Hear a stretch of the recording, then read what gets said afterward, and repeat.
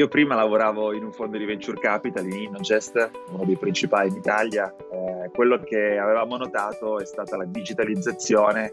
eh, del pezzo di filiera che collega il ristoratore al consumatore finale. Okay? Quindi i vari player che tutti noi conosciamo, Just Eat, Deliveroo, Foodora,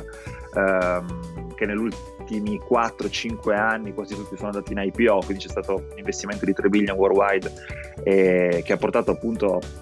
velocissimamente questi player diventare eh, società che tutt'oggi noi abbiamo sul cellulare e conosciamo, eh, abbiamo visto che nell'ultimo anno, anno e mezzo, le stesse dinamiche si stavano presentando nel pezzo primo della filiera, ovvero quello che connette il produttore al ristoratore, ovvero un mercato tanto grande quanto quello dal ristoratore al consumatore finale è ancora diciamo all'età della pietra, ovvero dove la disruption era ancora arrivata eh, dove ancora tutti gli ordini avvengono con messaggi, telefonate, chiamate, ho toccato con mano, qualcuno di questi ancora con fax, sta ancora il fax. E quindi eh, vedendo che un po' tutto il mondo stanno arrivando eh, gli stessi investimenti, visto il pezzo prima della filiera, in questo,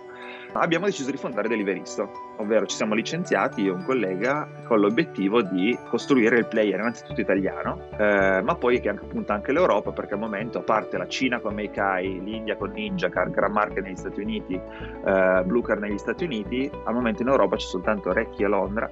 e sta nascendo un player che si chiama ehm, eh, Ciocco tra Berlino e San Francisco, quindi ancora un mercato molto molto vergine e bisogna arrivare per primi e noi pensiamo che insomma abbiamo le caratteristiche per, per poterlo fare, l'Italia può giocare un ruolo importante.